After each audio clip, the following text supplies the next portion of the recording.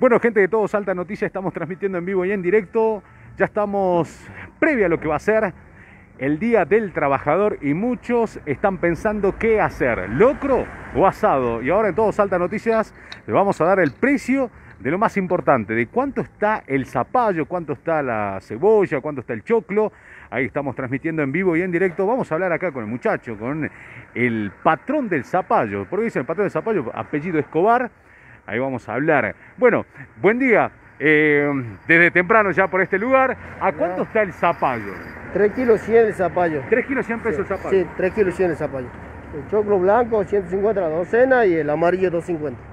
Hoy está hasta qué hora? Hasta las 9 de la noche. 9 de la noche vas a estar. ¿Y mañana? Hasta las 2 3 de la tarde. 2 o 3 de la tarde.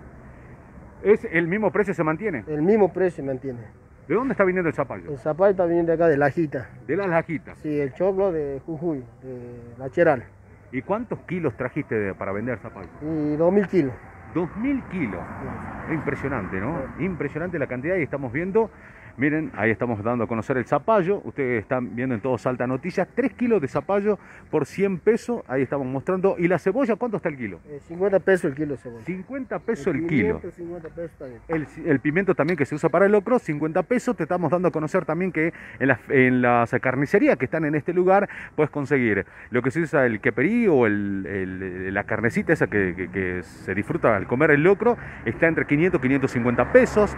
Tenés la tripa que está 300 pesos el kilo. Eh, Tenés el huesito salado que está 150 pesos el kilo. La panceta que los 100 gramos que está 50 pesos el kilo. Y así están los precios para poder disfrutar de un riquísimo locro. El poroto también estuvimos dando a conocer hace minutos en la 103.9 FM Ciudad.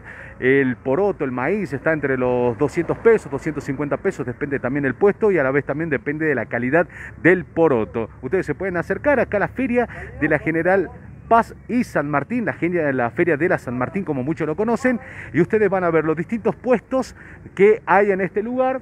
Ahí estamos viendo, más allá de que mañana el mercado Cofruto va a estar cerrado, al igual que también la feria va a estar cerrada, pero los salteños van a tener la posibilidad de acercarse hasta este lugar porque ellos sí van a estar trabajando. Son los que están en las calles, en las veredas, y así estamos dando a conocer lo que eh, las ventas de los zapallos. ¿eh?